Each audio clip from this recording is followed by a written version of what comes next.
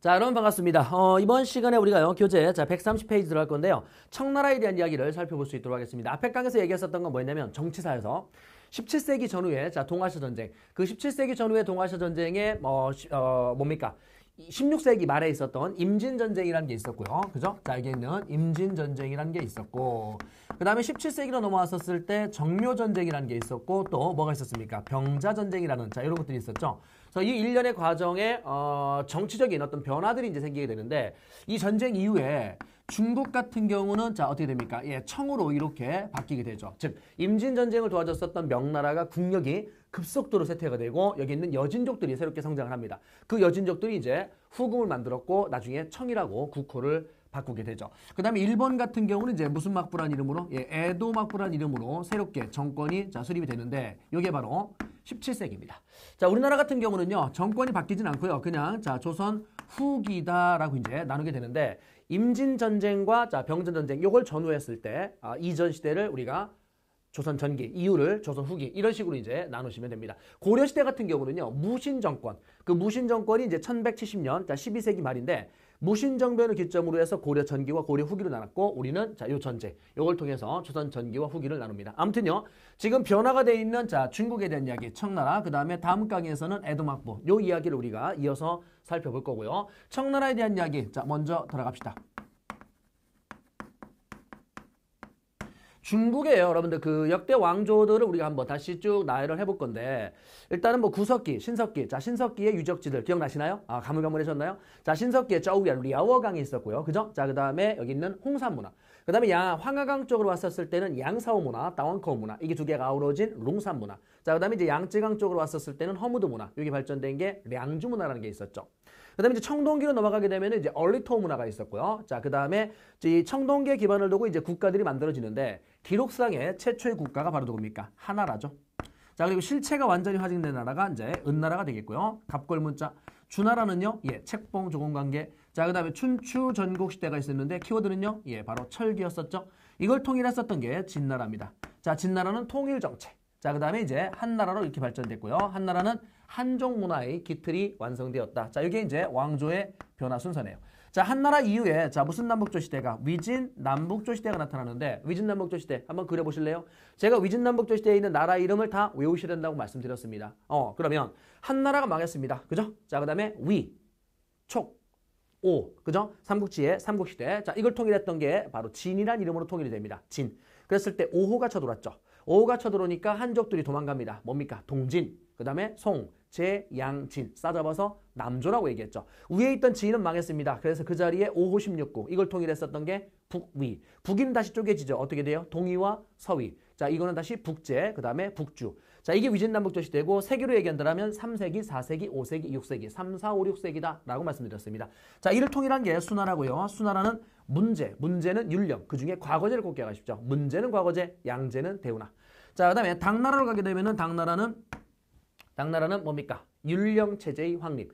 자, 그랬을 때 그 율령체제 확립에서 안사이난 이전과 이후의 모습을 비교하라고 말씀드렸고 또 당나라에서는 여러분들 동아시아 문화권이 확립이 됩니다. 그래서 정치적으로 이 당나라를 공부한 다음에 자, 뭘 배웁니까? 그렇죠. 여기에 있는 동아시아 문화권이 뭔데요? 그래서 율령에 대한 이야기를 배우고 과, 아, 뭐야, 여기에 있는 그 불교에 대한 이야기를 배우고 유교에 대한 이야기를 배웠죠. 어쨌든 당나라. 당나라 망한 다음에 자, 5대 10국 시대라고 하는 자, 혼란기가 있습니다. 절도사들의 난립시대죠. 자, 그 다음에 이걸 통일했었던 게 송나라고 송나라는 문치주의. 자, 그래서 많은 뭐가 들었습니까? 정복, 왕조가 들었었죠. 그 정복 왕조에 10세기의 요, 11세기 서하, 12세기 금, 13세기의 원. 그래서 원나라가 중국 전체를 차지하네요. 이 원나라는 자 몽고인 제일주의 그래서 한족을 지나치게 억압하는 정책만 펼쳤기 때문에 비교적 빠르게 무너지게 됐고 명으로 교체가 됩니다. 자 그런데 이 명나라가 자 위에서 봤었던 뭡니까 임진전쟁 자 이거를 지원하면서 국력이 급속도로 세트가 되었다. 그래서 이제 누구로 바뀌게 되느냐 청나라로 이렇게 바뀌게 됩니다. 지금 보시면은요 재밌는 게 여기에 있는 그 하나라 같은 경우는 기록상의 이제 왕조잖아요. 시험에 실제 안 나와요. 실제 안 나오는데 그러면 하나라는 어쨌든 기록상의 왕조다라고 제껴놓고 가만히 보시면은 아 그러네. 두 개의 나라. 자, 두 개의 나라가 있었고 혼란기. 두 개의 나라가 있었고 혼란기. 두 개의 나라가 있었고 혼란기. 그러고 나서 송원명청. 자, 이제 그 마지막 왕조인 청나라에 대한 이야기를 살펴보겠습니다. 청나라는요. 청나라는 청나라는 어, 키워드를 잡을 때 어떻게 잡을 거냐면 이렇게 잡을게요, 제가. 이 앞에 있었던 원나라와요. 청나라의 공통점은 뭐냐면 정보광조라는 겁니다. 그러니까 한족이 아니라는 거죠. 얘들은 누구죠? 얘들은 몽고족이죠. 자, 몽고. 자, 그 다음에 얘들은 바로 여진족입니다. 그런데 여진족인데 이 여진족을 나중에 이름을 만주족이라고 이렇게 이름을 바꿉니다. 어쨌든 정보광조입니다. 중국 전체를 차지한. 그랬을 때 얘들은 뭘 알고 있냐면 원나라가 비교적 빠르게 망한 이유를 알고 있어요. 한족들을 지나치게 어감만 했기 때문에 그렇죠. 자, 그래서 이 명나라, 아, 청나라 같은 경우는 명나라의 행정제도를 그대로 계승을 합니다. 명나라 황실에 대한 제사도 그대로 받들고요. 자, 행정제도도 그대로 계승해요. 그래서 신사층이 여전히 집권층이었었다는 걸 우리가 앞에서 배운 적이 있습니다. 아무튼요. 자, 청나라의 키워드는 한족을 다스림에 있어서 강경책과 회유책을 적절히 병행을 했다. 이게 이제 키워드로 잡으시면 됩니다. 어, 일단은 만들어지는 과정을 먼저 보겠습니다. 자, 누르와치가 있었는데요. 이 누르와치가 누르와치가 여진족을 자 전부 다 통합을 한답니다. 자, 여진족을 자 통합을 했고 결국은 자 뭐 하게 되냐면 후금을 이렇게 만들게 되는데 이 후금이 만들어진 시점이 자 1616년입니다. 아직 명나라가 망하지 않았습니다. 명나라는요. 명나라는 제가 이렇게 한번 써볼까요? 자, 명나라는 1368년에 만들어져서 1644년도에 망할 겁니다. 그러니까 17세기 중반부에 망하는데 자 후금이 자 1616년에 건국이 됐죠. 그러니까 명나라는 아직 살아있다는 거. 이때요, 여러분들 그 누르와치가 여진족을 통합했을 때 군사적 기반이 뭐였었냐면 바로 팔기병이라는 겁니다. 자, 팔기병. 이 팔기병은 얘들 또 유목 세력이잖아요. 유목 세력이다 보니까 자기들이 이제 이동하는 자 범위가 있을 거예요. 그래서 이만큼의 큰 범위를 잡아놓고 이 안에서 이동하는 아이들 하나의 묶음, 또 이만큼을 큰 범위를 잡아놓고 이 안에서 이동을 하는 아이들이 하나의 묶음으로 만든 겁니다. 그래서 지역별, 지역별, 지역별로 여덟 개로 쪼개서 깃발 색깔을 다르게 자 편성을 한 거죠. 그래서 이거를 유사시에 이제 군사 조직으로 활용을 했었던 겁니다. 그 범위 안에 있는 아이들이 같은 색깔의 깃발로 뭉치는 겁니다. 어쨌든요. 팔기병이라는 군사적 기반을 두고 여기는 여진족을 통합했고 여기에 있는 후금이 건국이 되었다더라. 어, 두 번째 간다라면 두 번째 간다라면 어, 태종. 이 태종이요. 홍타이지거든요. 홍타이지. 이 홍타이지가 태종인데 홍타이지가 자 우리나라의 정묘 전쟁과 자 병자 전쟁 때 침략을 했었던 자 그런 인물입니다. 어쨌든 이 홍타이지는 홍타이지는 국호를 자 뭐로 바꿨냐면 청이라고 바꾸게 됩니다. 자 국호를 청이라고 바꾸게 되었다. 딱 20년 뒤. 그러니까 후금이 만들어진 지 딱 20년 뒤에 국호가 청으로 바뀌었고 당시에 기억나시죠? 조선한테 야 조선 대답해봐. 내가 황제야 여기 있는 명나라가 황제야. 근데 조선이 명의 황제인데요. 그랬다가 얻어터진 게 병자 전쟁이다라고 말씀드렸죠. 어쨌든요. 홍타이지. 자, 세 번째 간다라면 여기 세조 자, 순치제가 나오는데 세조 순치제. 이 순치라는 게 이제 연호거든요. 연호인데 자, 세조 순치제는 여기에 어떤 일이 벌어졌냐면 이자성의 난이라는 게 벌어졌답니다. 그래서 이자성의 난을 틈타서 이자성의 난을 틈타서 어디를 장악하냐면 바로 베이징을 자, 장악하게 되죠. 자, 이자성의 난을 틈타서 베이징을 장악했다. 이 얘기는 결국은 명나라가 뭐 했다는 얘기입니까? 명나라가 멸망했다라고 우리가 이야기할 수 있겠죠. 1644년도의 자, 모습이라고 할 수 있겠네요. 그래서 이자성의 난을 틈타서 우리 명나라 배울 때요. 명나라 때 이자성의 농민 반란군이 베이징을 장악해서 명나라가 망했다. 이렇게만 배웠단 말이야. 정확한 팩트는 뭐냐면 이자성의 난 세력들이 자 베이징을 장악했을 때 이 혼란을 틈타서 청이 들어온 겁니다. 그래서 여기 있는 이자성 세력도 먹고 명나라도 먹어버린 거죠. 그래서 정확한 팩트는 이자성의 난을 틈타서 청이 명을 멸망시켰다. 이게 가장 정확한 표현이죠. 근데 시험 문제에서는요. 이자성의 난으로 망했다. 이것도 맞는 문장이고요. 그 다음에 청나라한테 망했다. 이것도 맞는 문장입니다. 알겠죠? 아무튼요. 명나라가 멸망을 했네요. 어, 그 다음에 참고로 여기서 자 쌤이 이 누르와치와 관련된 거에서 말씀드릴게. 사르우 전투가 있었죠. 자, 사르우 전투. 이 사르우 전투 같은 경우는 1619년이다. 어, 기억나시나요? 쌤이 무슨 외교라고 표현했었던? 예, 광해군의 중립 외교. 자, 그 다음에 이 누르와치 같은 경우는 영원성 전투. 영원성 전투는 이제 명나라한테 결국 깨지고 1626년도에 여기에 있는 누르와치가 사망을 했었던 자 그런 전투가 여기에 있는 영원성 전투입니다. 그러니까 요거는 중립외교고요. 요거는 누르와치가 죽은 겁니다. 아무튼요. 순치제. 그럼 이자상의 날을 통틀어 베이징을 장악했었을 때 당시에요. 청나라가 자 여기에 만주 이쪽에 이제 청나라가 만들어진 거 아닙니까? 원래 이제 후금이었었다가 이름이 바뀐 거죠. 그래서 얘가 만리장성 아래쪽에 이쪽으로 이제 자 들어오게 되는데 당시에 농민 세력인 이자성이 베이징을 장하고 있었을 때 얘들이 여기를 손쉽게 들어와서 점령을 해버렸잖아요. 여기에 있는 이 성주 자 여기에 어, 만리장성에 만리장성을 지키고 있었던 어, 명나라 장군들이요. 이걸 방어하는 게 아니고요. 뭐 한 거냐면 어, 문을 열어준 거예요. 어서 오세요. 어서 오세요 라고 나라 팔아먹은 거죠. 성문을 활딱활딱 열어줍니다. 그래서 청나라가 손쉽게 자 여기 있는 명나라 전체를 자 먹어버릴 수 있는 이런 구조가 돼버린 거죠. 그럼 청나라 입장에서는 이 성문을 열어줬던 얘네들이 고마운가요? 고맙죠? 야 고맙다. 니들이 성문 열어줘서 내가 여기를 쉽게 점령할 수 있었어. 이런 겁니다. 그래서 그들을요. 그들을 청나라 땅 안에 왕으로 책봉을 해줍니다. 그래서 3번으로 3번을 자 뭐 하느냐 책봉을 해요. 이 번이라는 게요. 울타리 번자거든요. 그러니까 청나라의 국경선 울타리 안에 지역을 일정 부분 나눠주고 땅을 준 거죠. 그런 다음에 그 세 명에게 왕으로 이제 임명을 한 겁니다. 자 그러면 이 3번으로 책봉된 이 사람들이 누구냐? 오삼계. 오삼계. 자그 다음에 경계무. 그 다음에 자 상가희. 자 이런 인물들이 있습니다. 자 이 중에 경계무의 자 아들이 있는데 자 얘가 누구냐면 경정충입니다. 그래서 기출에 경정충 장군 어쩌고 요게 나올 겁니다. 경정충 장군. 그 다음에 상가이와 관련된 거에서는 이제 상지신, 상지신. 나중에요, 쌤이 자 파란색으로 밑줄 그는 자 오삼계, 자 그 다음에 경정충, 자 상지신 얘네들이 또 반란 일으켜요. 이거를 3번의 난이라고 합니다. 그러니까 여기들은 3번인 거죠. 자, 5, 3개, 경계무, 상가이는 3번인 건데, 그러니까 왕으로 책봉된 건데, 나중에 5, 3개와 경정충, 상지신이 반란 일으킨답니다. 요거를 우리는 3번의 난이라 하죠. 그래서 원래요, 이 5, 3개 정도만 기억하면 되거든요. 왜냐면 5, 3개는 3번으로 책봉됐고, 나중에 반란도 실제 일으켰으니까. 그래서 5, 3개 정도만 기억하면 되는데, 시험 문제에서 경정충이 출제가 된 적이 있기 때문에, 자, 여기 있는 이름, 자, 참고로 알아두시기 바랍니다. 아무튼요, 3번으로 책봉했고, 자, 중국이 청나라가 완전하게 이제 자 중국 전초를 전체를 장악하게 된 겁니다. 여기에 강희제라는 이제 황제가 올라올 건데요. 이 강희제와 관련된 거 이걸 볼게요. 강희제. 이 강희제는요. 정성공의 난이라는 게 벌어졌을 때, 자 정성공의 난이라는 게 벌어졌을 때, 이 정성공은 어느 나라 부흥운동을 외친 거냐면 명나라 부흥운동을 외쳤거든요. 그래서 명나라 부흥운동을 외쳤었던 정성공이가 어디를 장악했냐면 타이완을 장악한답니다. 그래서 타이완을 장악했을 때 당시에 여기 있는 강희제는 어떤 거를 시행하게 되냐면 천계령이라는 걸 시행해요.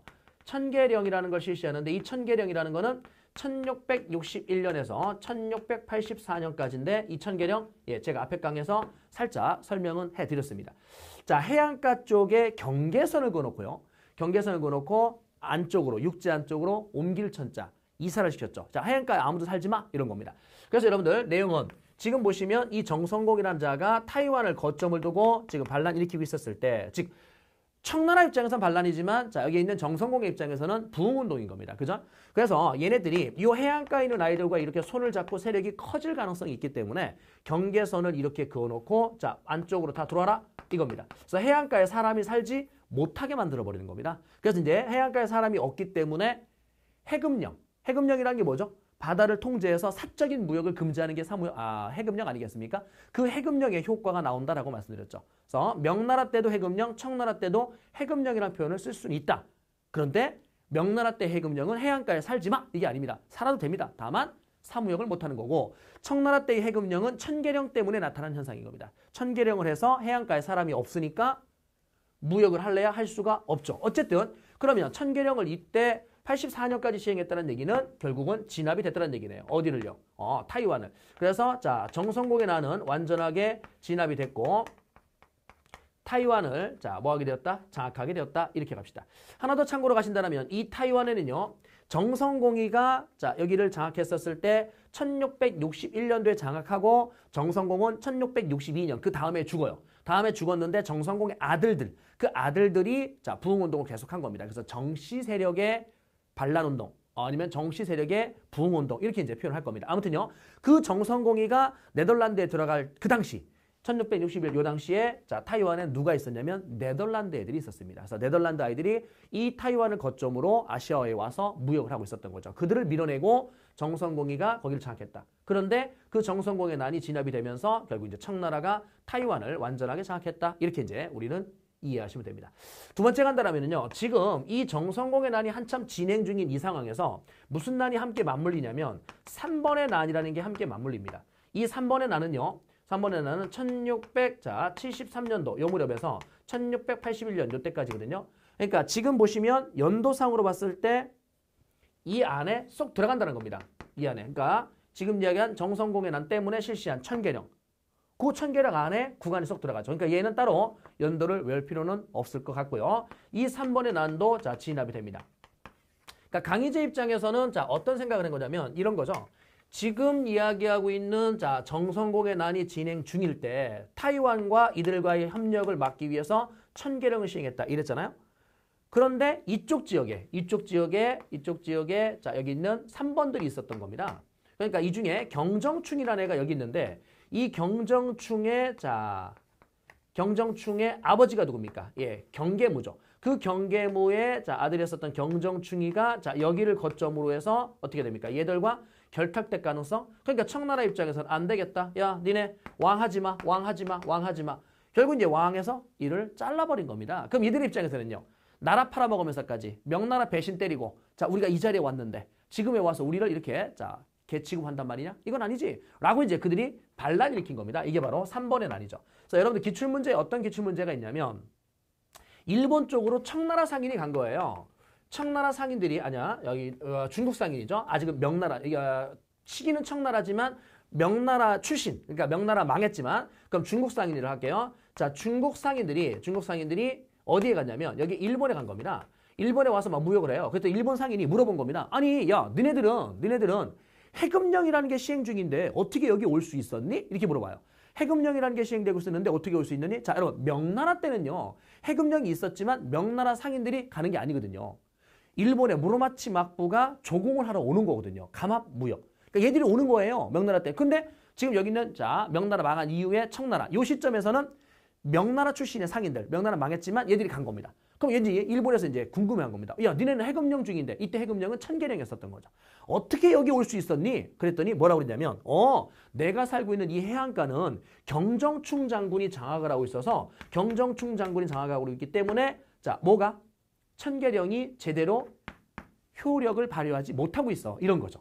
그러니까 나는 자 이렇게 올 수 있었어. 이렇게 얘기를 합니다. 그래서 그 문제에서 천계령이라는 표현을 안 쓰고 해금령이라는 표현을 썼어요. 그래서 다시 한번 얘기하는데 명에서도 해금령이라는 표현이 있고 청에서도 해금령이라는 표현이 있다. 명나라 때의 해금령은 해제된 적이 없고 청나라 때 해금령은 해제가 된다. 무슨 령이 시행되면서 해금령이 나온 거다? 천계령이 시행되면서 해금령이 나온 거다. 자, 어쨌든 자 연도는 외울 필요 없다라는 거고요. 자, 이 정성공의 난과 3번의 난을 진압하면서 강희제는 통치 체제를 안정을 시켰습니다. 자, 네 번째, 세 번째 갈까요? 세 번째 간다라면 여기다 올려서 뭘 세우게 되냐면 백두산 정계비를 세웁니다. 자, 백두산 정계비를 세웠다. 조선의 숙종. 자, 조선의 숙종. 이 숙종을 여러분들이 기억할게요. 숙종을 기억할게. 강희제와 시점이 같아요. 그러니까 17말, 18초거든요. 그래서 17세기 말에 지금 3번의 난이 뭐라고 있지 않으세요? 3번의 난. 그래서 이 숙종한테 북벌을 합시다 라고 북벌론을 주장했었던 인물 기억나시나요? 윤휴. 남인 출신의 윤휴가 숙종한테 북벌을 주장합니다. 왜요? 중국에서 무슨 난 중이기 때문에 3번의 난에 혼란 중이기 때문에 자 그리고 나서 물론 이게 실행에 옮겨지지 않았고요. 그 이후에 이숙종이 강희제와 함께 백두산 정계비를 세웠죠. 우리 한국사에서 이야기하는 간도 귀속 문제 있죠. 그래서 간도가 너희들 땅이냐 우리 땅이냐 이랬을 때 토문강 이 토문강이 어디지? 라는 해석의 문제를 남겼었던 요게 백두산 정계비입니다. 자, 그 다음에 네 번째 간다라면, 자, 네르친스크 조약이라는 걸 체결했는데, 이 네르친스크 조약은 러시아와 국경을 설정했었던, 자, 그러한 회담이 네르친스크 조약입니다. 자, 다섯 번째 간다라면, 이 강희제가 여러분들 1722년도에 이제 물러나거든요. 그럼 1722년도에 물러나가는데, 어, 강희제가 물러나기 딱 1년 전, 1721년, 그 1721년도에, 자, 크리스트교에 대한, 크리스트교에 대한 포교가 전면 금지가 됩니다. 그래서 크리스토교의 포교 금지는 강희제 때, 강희제 때 자, 시작되었고 다음에 옹정제 때도 계속 금지합니다. 그러니까 옹정제도 크리스토 포교를 금지했다. 이래도 맞아요. 알겠죠? 어쨌든 몇 세기 상황입니까? 18세기. 그래서 18세기에 전례 문제 때문에 자 크리스토교에 대한 포교가 자 전면 금지되기 시작했다는 거. 강희제의 업적. 오 생각보다 많네요. 자 제일 중요한 거는 우리 시험에서 여기에 정성공의 난과 3번의 난을 진압했다라는 거. 자, 이걸 눈여겨 봐두시기 바랍니다. 다시 올라가 볼까요? 자, 여기다 강희제라고 얘기합시다. 자, 강희제. 강희제에 대한 이야기 자 살펴봤고요. 다 다섯 번째. 이번에 옹정제가 나오는데요. 이 옹정제 같은 경우는 뭐 군기처라는 기구를 설치했고요. 군기처는 황제 직속기구입니다. 자, 황제 직속기구인 군기처 설치했다. 두 번째 간다라면 이 옹정제가 어, 지정은제, 지정은제를 자 확대 실시하는데 지정은제는 이제 뭐를 메인 화폐로 했었던 자 은, 은을 메인 화폐로 했었던 그런 세금 제도죠. 명나라 말기에 일조편법이 있었어요. 그죠? 그게 이제 청나라에 와서 지정은제라는 걸로 바뀝니다. 자, 세 번째 간다라면 새로운 화이관을 제시했는데 이게 뭐냐면 대의 강미록이라는 책을 쓸 건데요. 이 대의 강미록이라는 책에서 뭐라고 얘기했냐면 화의의 기준. 원래 화의의 기준은요. 한족이냐 한족이 아니냐 혹은 중원에서 태어나느냐 중원 밖에서 태어나느냐 이걸 가지고 화의의 기준을 삼는단 말이죠. 그래서 중국 한족들만이 자 세상의 중심이다. 이런 어떤 논리가 화의관이라 한다라면 여기 있는 지금 중국 전체를 누가 차지했습니까? 여진족, 즉 만주족이 차지했죠. 그럼 이 만주족이 차지한 자 청나라는 뭐라고 합니까? 야 화의의 기준을 그렇게 삼으면 안 되지. 자 여기 있는 한족이냐 한족이 아니냐 이건 중요하지 않아. 어진 마음이 있느냐 없느냐. 그리고 문화적으로 우수하냐 우수하지 않느냐. 그런데 우리도 충분히 어진 마음을 가지고 있고 문화적으로 우수하다? 그렇지. 그러니까 우리는 세상의 중심이 될 수 있다. 이런 논리를 내세웠었던 게 바로 자 새로운 화의관 대의강미록이었던 겁니다. 어, 여섯 번째 간다라면 걸룡제에 대한 이야기를 볼 건데요. 이 걸룡제 같은 경우는 걸룡제는 1795년도에 물러나는데 황제를 몇 년 동안 했냐면 60년 했습니다. 그래서 여기 60년을 빼면은 여러분들 1735년 아닙니까? 그러니까 18세기. 와, 걸룡제 뜨면 무조건 18세기. 그래. 지금 보이는 강희제와 옹정제와 걸룡제 얘들이요. 강희제는 물론 17 말에 걸쳐 있습니다. 17 말에서 18. 요 18세기가 청나라의 최대 전성기가 됩니다. 그래서 걸룡제는 걸룡제는 최대 영토를 자 확보했고요. 최대 영토를 확보했고 두 번째 간다라면 이 최대 영토를 확보했었을 때 여러분들 2번 원이라는 걸 설치하는데 이 2번 원이라는 게 뭐냐면 직할지와 직할지와 자 뭐로 쪼개는 범부 자 범부로 쪼갰는데 요 어, 내용을 한 번만 설명해 드릴게요. 자, 청나라 국경선이 이렇게 돼 있습니다. 근데 청나라 국경선을요. 실제 시험 문제에서 보면 지도에서 보면 빗금이 달라요. 자, 이쪽에 자, 이렇게 빗금이 들어가 있고 자, 그다음에 이쪽은 뭐 점선으로 들어가 있습니다. 자, 색깔을 다를게요, 쌤은. 그럼 이제 실제 문제는 이제 빗금의 모양을 다르게 해줄 건데 다 청나라입니다. 다 청나라인데 이 전체의 국경선 여러분 번자가 울타리 번자거든요. 그래서 국경선이란 뜻인데 이 울타리 안에 자, 투, 두 개의 자, 시스템을 둔 겁니다. 그러니까 어떻게 된 거냐면 노란색으로 지금 체크한 부분은 직할지, 청왕조가 직접 다스리는 직할지, 그 다음에 파란색의 자, 이런 지역은 번부라고 하는데 이 번부는 소수민족들의 어떤 자치를 어느 정도 일정 부분 허용해준 그런 땅이 바로 번부였었던 겁니다. 다 같이 청나라입니다. 됐죠? 청나라입니다. 그런데 시험 문제에서 요거를 가라고 이렇게 줘요. 가라고 주고 마치 여기와 색깔이 다르기 때문에 이게 하나의 나라인데도 불구하고 여러분들이 뭐지? 이게 누구지? 그랬을 때 시험 문제에서 여기에 조선을 줍니다. 조선을 줬어요. 그럼 조선을 줬으면 중국은 명 아니면 청이거든요. 그럼 명 아니면 청인데 이때 일본을 보여주고요. 그 다음 베트남도 보여줬는데 여기에 빨간색의 빗금 들어간 게 뭐냐면 중국으로부터 이 책봉 관계. 그래서 책봉을 얘는 받았답니다. 얘는 책봉 받았고 또 얘도 책봉을 받았대요. 책봉 받았대요. 그런데 일본이요. 일본이 책봉 관계가 표시가 안 돼 있어요. 그럼 일본이 책봉 관계 표시가 안 돼 있다? 그럼 이거는 자 무조건 누구라고요? 예, 청이죠. 왜냐면 명나라와 일본은 책봉 좋은 관계 맺었잖아요. 모로마치 막부와 책봉 좋은 관계를 맺어서 감한무역한 거 아닙니까? 그죠? 그러니까 이거는 명이 아니죠. 왜냐면 여기서 지금 빨간색이 책봉 좋은 관계인데 빗금이 안 들어가 있으니까. 그러니까 얘는 청인 겁니다. 이래 청. 그래서 여러분들 일본에 그러니까 이 지도에서 일단 실제 지도가 빗금이 이렇게 달리 나온다는 거. 이게 2번 원이라는 시스템을 말하는 겁니다. 용어 일단 확인해 두시고요. 일본의 막부 정권에서 가마쿠라 막부라는 게 있고 무로마치 막부라는 게 있고 에도 막부가 있는데 얘네들 중에 송나라와 원나라와 교류했고 얘는 명나라와 교류했고 얘는 명도 살짝 걸치긴 해요. 명도 살짝 걸치긴 하는데 청으로 할게요. 그러면 각각의 각각의 얘네들 중에 에도 막부와 청나라, 그 다음에 까마크라 막부와 송나라 원나라는 무슨 관계가 아니라고요? 책봉 좋은 관계가 아닙니다. 책봉 좋은 관계가 아니지만 경제적 교류가 매우 활발했죠. 경제적 교류가 매우 활발했다. 그래서 가마크라 막부는 얘와 얘한테 동정과 도자기를 수입했고요. 에도 막부는 청나라 상인들이 너무나 많이 들어왔죠. 너무나 많이 들어와서 야 적당히 좀 오란 말이야 라고 허가증, 신패라는 걸 발급하죠. 어.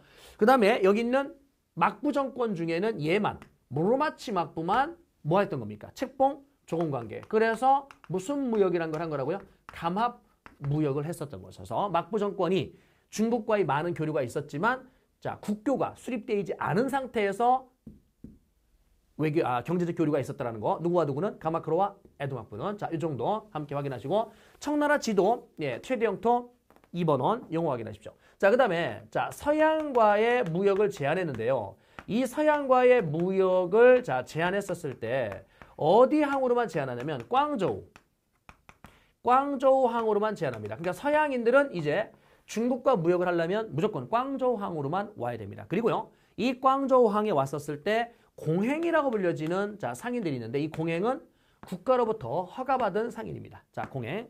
중국에요. 여러분들 제가 중국의 조합을 지금부터 정리해 드릴 텐데 중국의 조합은 일단은 당나라 때 행이라는 게 있습니다. 행은요. 상인들의 조합입니다. 자, 그 다음에 송나라 때는요. 행도 그대로 있고요. 그 다음에 자기라는 게 등장하는데 이 자기라는 게 수공업자들의 조합입니다. 수공업자들의 조합. 그 다음에 자 여기에 있는 명나라와 청나라 때는 어떤 게 있냐면 공소라는 상공업자들의 조합. 그 다음에 회관이라 불려지는 동향인 조합이 있습니다. 같을 동자, 고향향자, 동향인 조합. 그래서 여러분들 여기 있는 공소와 회관이라는 단어가 나오면 명청시대. 행, 콤마, 작. 행, 콤마, 작으로 나오면 송나라. 행만 나오면 당. 어, 이 정도 참고로 가두시고요. 행은 상인들의 조합, 상인들의 조합, 요거는 수공업자들의 조합. 그 얘기는 송나라 때 수공업이 한 단계 더 업그레이드 된 겁니다. 그래서 송나라 때 석탄 사용이 일반화되면서 화력이 높아지죠. 그래서 제철 산업과 도자기 산업이 크게 발전됩니다. 어, 명청 시대에는 이제 공소회관이 있는데 제가 뭘 얘기하고 싶었던 거냐면 이겁니다. 청나라에만 보이는 게 있다는 겁니다. 그 청나라에만 보이는 게 좀 전에 체크했었던 공행이라는 겁니다. 됐죠? 국가로부터 공식적인 허가를 받은 아까 상인들의 조합이 행 그래서 공식적인 허가를 받은 행 그래서 공행 얘는 서양과의 무역을 전담했었던 그런 상인들이 바로 공행이죠. 그러니까 명나라 때는 보이면 안 됩니다. 됐죠? 명나라 때는 자, 그 다음에 당시에 이제 그 권룡제가 이제 서양과 무역을 제안했었더니 영국이 18세기에 이제 청나라와의 많은 무역을 하거든요.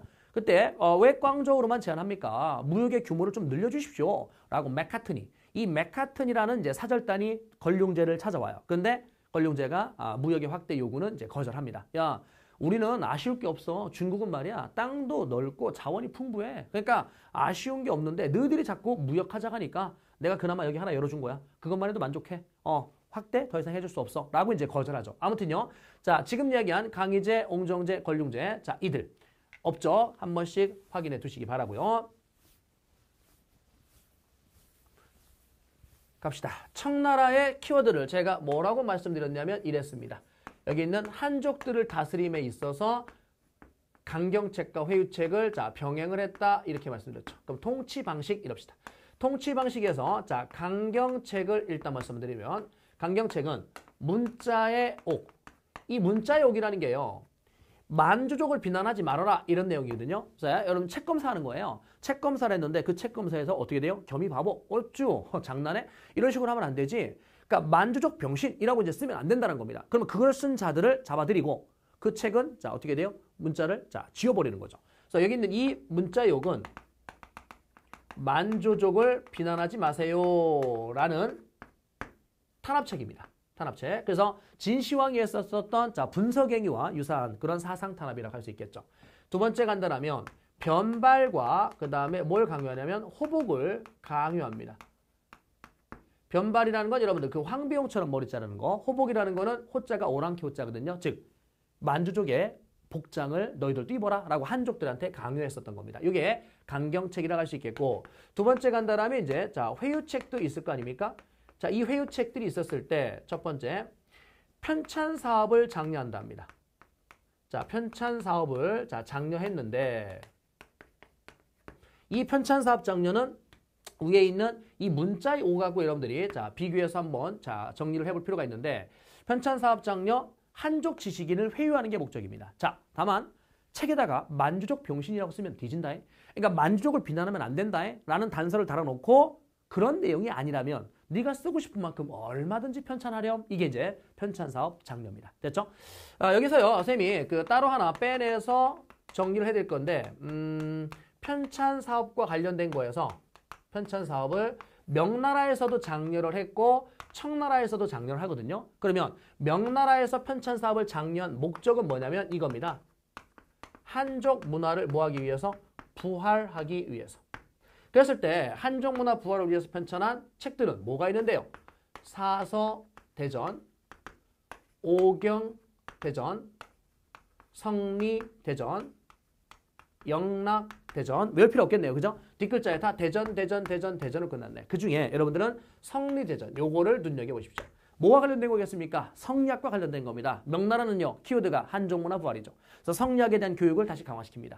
그때 성리대전도 만들어졌고 조심할 것 이거는 주의가 쓴 게 아니라는 거죠.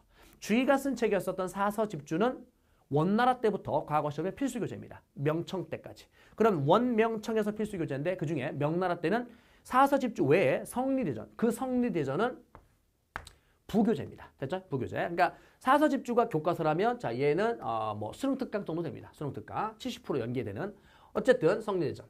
어, 그 다음에 청나라 때는 자 여기에 한족 지식인을 자 한족 지식인을 자 뭐하기 위해서 회유하기 위해서 편찬 사업을 장려했는데 책에 어떤 게 있냐면 강희자전. 야 이건 뭐별 의미가 없네요. 그죠? 강희제가 편찬한 자전, 옥편이란 뜻이죠. 강의 자전. 자, 그 다음에 자 고금 도서 집성. 고금 도서 집성. 자, 그 다음에 자 사고 전서. 여러분 이 사고 전서는요. 사서 집주 이거하고 혼동 안 돼요. 됐죠? 자, 그랬을 때 고금 도서 집성 요거하고 사고 전서 요게 시험에 나옵니다. 자, 요거하고 요게 나오는데 어 그러면 세 가지를 기억하면 되겠네요. 그죠? 자, 여기는 명나라 때는 뒷글자에 다 대전, 대전, 대전을 끝난다. 그 중에 성리대전. 자, 그 다음에 청나라 때는 자 강의자전, 고금도집성, 사고전서 그 중에 이두 개. 됐습니까? 자, 그러면 요게 누구 때냐면 요게 강의제 때. 요게 누구 때냐면 옹정제 때.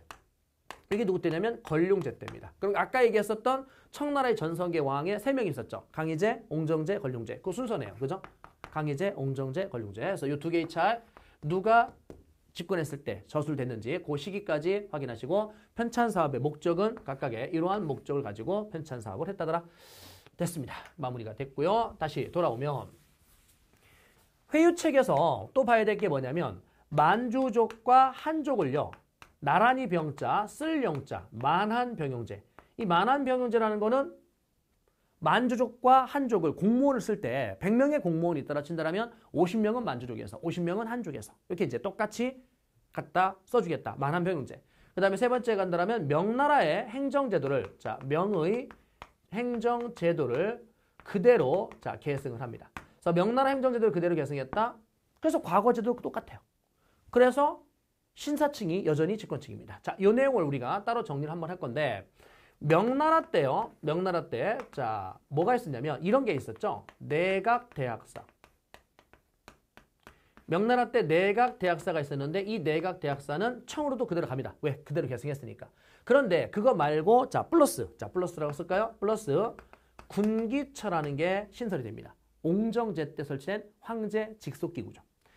자, 그 다음에 여기에 있는 어, 명나라 때 어떤 시스템이 있었냐면 리갑제라는 시스템이 있었는데 그 리갑제라는 시스템은 없어집니다. 그래서 청나라 때 보갑제라는 시스템으로 이름이 바뀝니다. 자, 그 다음에 명나라 때는 자 누가 있었냐면 신사층들이 있었는데 그 신사층은 청나라로 그대로 가죠. 청나라 그대로 갔고 여기에서 기인이라고 불려지는 팔기병.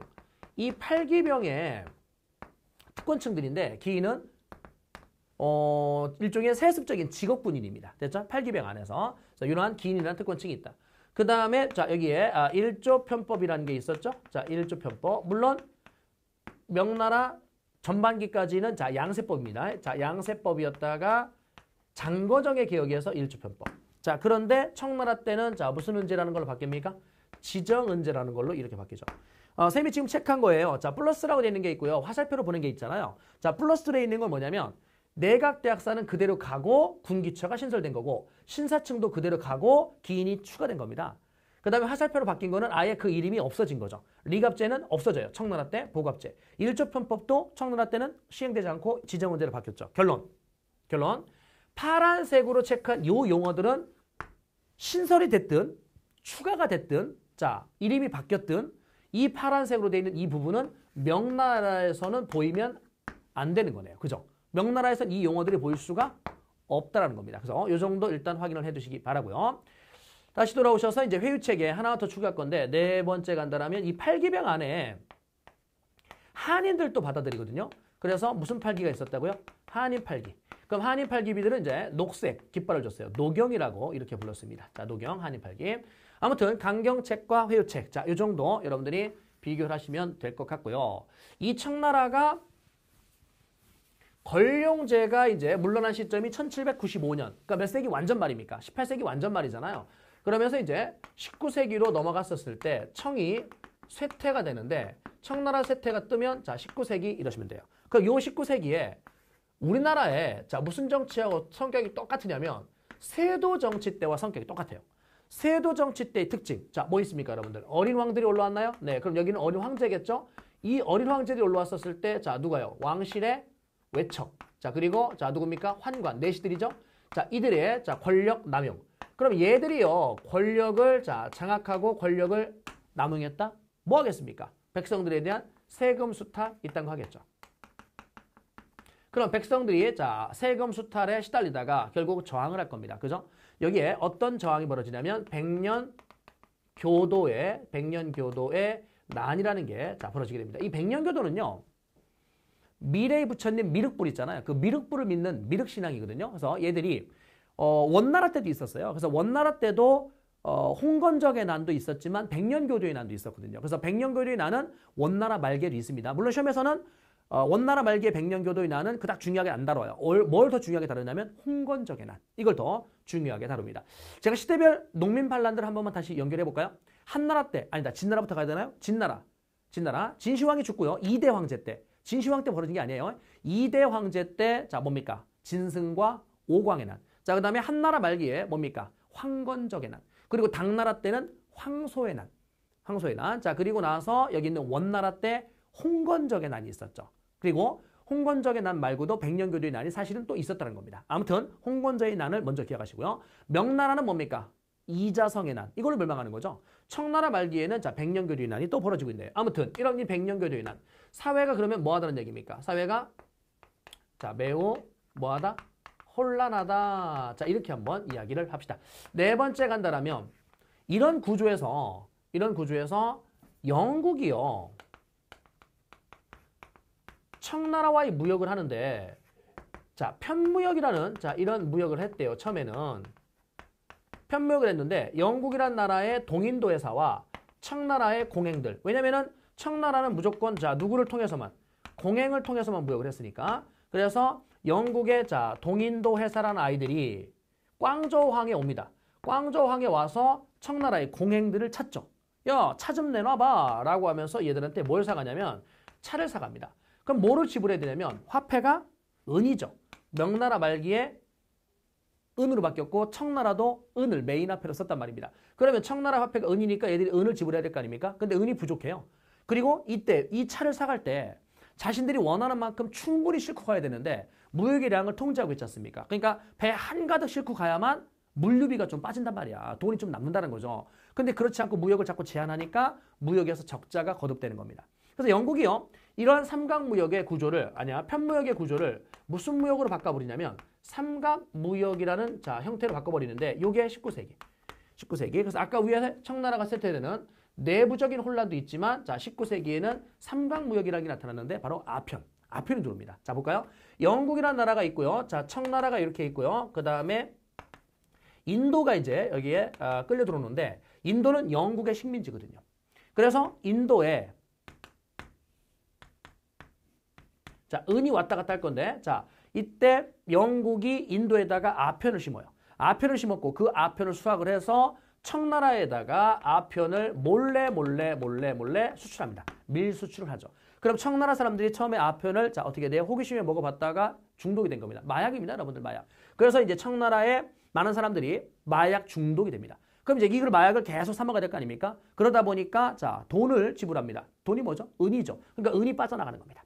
은이 빠져나가요. 그럼 영국은요 이 은을 다시 영국으로 빨려들일 건데 어떻게 했냐면 19세기 이 당시에 영국은 산업혁명에 성공을 했거든요. 그래서 여기다가 뭘 갖다 팔아먹냐면 기계로 찍어낸 면제품. 이 기계로 찍어낸 면제품들을 자 팔아먹고 자 은을 빨아들이게 되죠. 그럼 그 은이 다시금 청으로 가는 겁니다. 그럼 자신들이 원했었던 자 뭐를요? 차. 이 차를 자 적자 보지 않고 계속해서 공급할 수 있는 자 이런 구조가 이제 삼광무역이었던 겁니다. 여러분 이 구역 구조를 이해만 하시면 되고요. 이 구조가 오랜 시간 지속이 되면 결정적으로 타격을 입는 나라가 누구겠습니까? 예, 청나라가 가장 큰 타격을 입습니다. 왜냐하면 은이 너무나 많이 빠져나갔잖아요. 근데 청나라의 메인 화폐는 은이지 않습니까? 그러니까 화폐가 이 유동성에 문제가 생깁니다. 화폐 양이 들쑥날쑥 해버리는 거죠. 그러다 보니까 자 어떤 혼란? 예, 경제의 자 혼란이 이야기가 되고요. 또 아편 중독자들이 많이 늘어나면서 범죄들이 들끓게 됐고 결국은 또 사회가 어떻게 됩니까? 사회가 혼란해지는 자 이러한 심각한 지경에 이르게 된 겁니다. 그래서 임칙서라는 관리가요. 임칙서라는 관리가 자 아편을 뭐 할 거냐면 몰수, 폐기, 처분할 겁니다. 그래서 청나라가 이 아편을 대한 몰수 처분을 하니까 영국이 버럭 화를 내면서 침략을 해옵니다. 그게 바로 아편 전쟁입니다. 그 아편 전쟁으로 인해서 청나라는 뭐 될 것이다? 이제 개항이 될 겁니다. 그래서 개항 파트는 자 우리가 이 다음 다음 강의에서 이제 개항을 살펴볼 거니까 전체적인 흐름은 여기까지 이야기를 하겠습니다. 자 교재로 가시게 되면은요 130쪽에서 누르와치가 팔기병을 기반으로 해서 여진족을 통합하고 후금을 건국했다. 사르우 전투 이게 중립의 교입니다. 영원성 전투 요 순서 기억하십시오. 제가 앞에 강인가 앞에 앞에 강의에서 이 청나라가 자 성장하는 이 과정을 우리나라의 어떤 그 정치 변화와 함께 연결시켜서 그러니까 인조반정이라든지 자 아니면 정묘호란, 자 병자호란 이런 전쟁들과 연결시켜서 나열을 한번 해준 적이 있을 겁니다. 그거 다시 한번 참조를 좀 해주시고요. 밑에 태종 가시게 되면 이제 국호를 청이라고 바꿨습니다. 나머지는 읽어보시고요. 순치제는요. 이자성의 난을 틈타서 베이징을 장악했네요. 3번이 누구누구 있는지 이름 확인하십시오.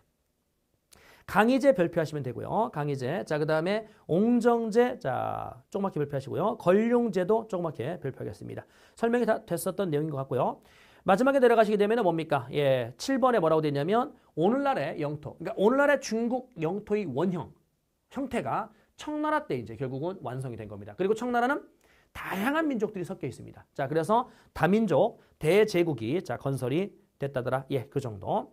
왼쪽에 보시면은요. 왼쪽에 사르우 전투 핵심 체크에 사르우 전투가 있고 또 예, 천계령과 일본 도자기 이 내용이 나와 있는데 이거는 읽어보시고 마지막에 세 번째 네덜란드의 타이완이라고 되는 게 있는데 네덜란드가 타이완에 거점을 두고 무역을 했었다. 이런 말씀을 드렸죠. 그런데 정성공이가 1661년 여기를 장악하면서 네덜란드 아이들은 축출이 되는 겁니다.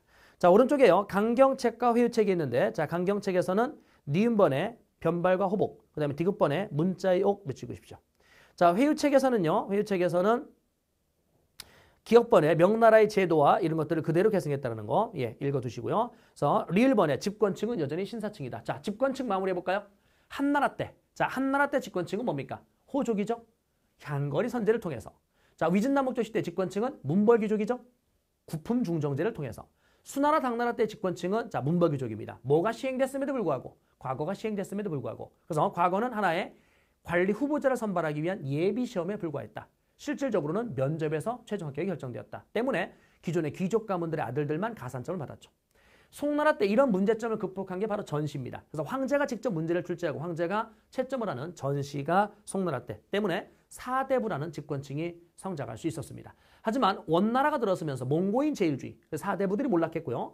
명청시대에는 이 사대부들이 다시금 성장합니다. 그런데 이 사대부 외에 누구까지 포함시킵니까? 전직관리와 예비 관리까지 포함시켰죠. 그래서 이걸 싸잡아서 우리는 신사층이라고 했습니다. 어디요? 명청시대. 그래서 청나라. 오호. 명나라 때 행정제도를 그대로 계승했기 때문에 집권층이 여전히 신사층이라는 거.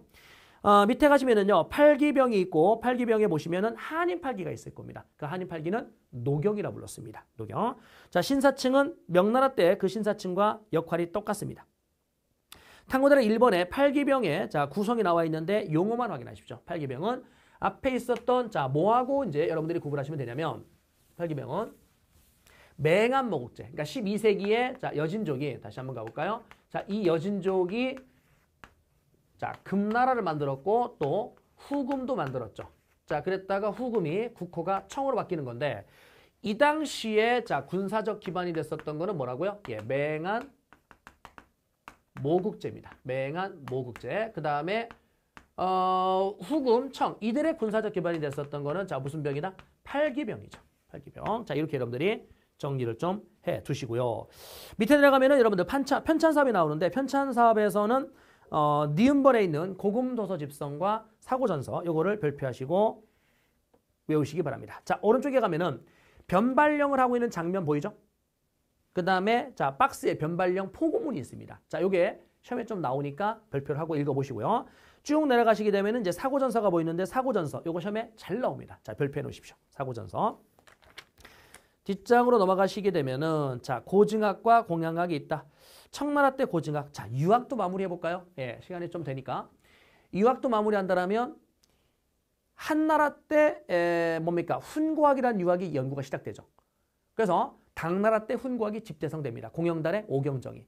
그러고 나서 이제 송나라 때 정확하게 남송인데 남송 때 쥐에 의해서 성리학이 집재성이 됩니다. 성리학. 그 성리학은 자 어디 갑니까? 원나라, 명나라, 청나라 때까지 쭉 이어집니다. 됐죠? 그랬다가 명나라 때 그 성리학에 대한 반발로 양명학, 청나라 때 성리학에 대한 반발로 고증학. 자, 그 고증학입니다. 됐죠?